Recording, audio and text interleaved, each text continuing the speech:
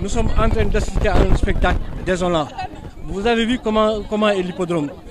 Cet hippodrome-là, depuis 1904, cet hippodrome-là existe. Depuis le temps de, de notre grand-père Tanor Antamahar. Nous, nous sommes les héritiers de Tanor Antamahar.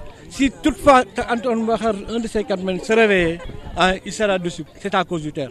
C'est pour cela que nous sommes là aujourd'hui et nous dénonçons vivement, nous crions à haute voix de dire que nous, les turfistes de Rufusque, hein, nous sommes vraiment dessus. Pourquoi? Parce que les autorités ne nous ont pas aidés.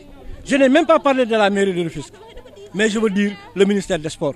Le ministère des Sports n'a rien fait pour l'hippodrome Tanon Antambakhar. C'est pour cela que nous lançons un appel.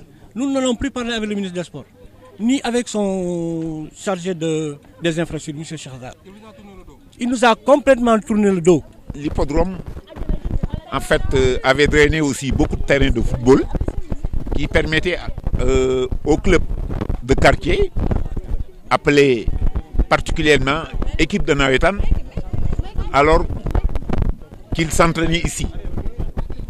Alors ces équipes-là, pratiquement cette année, ils ont joué leur Navetan difficilement, puisqu'ils avaient complètement perdu leur terrain, dû aux travaux du terre.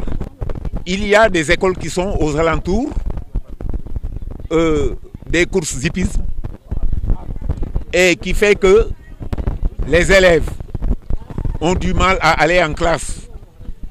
Parce que non seulement qu'ils quittent chez eux très tôt, mais ils arrivent tout le temps en retard. Parce que le chemin est complètement bloqué.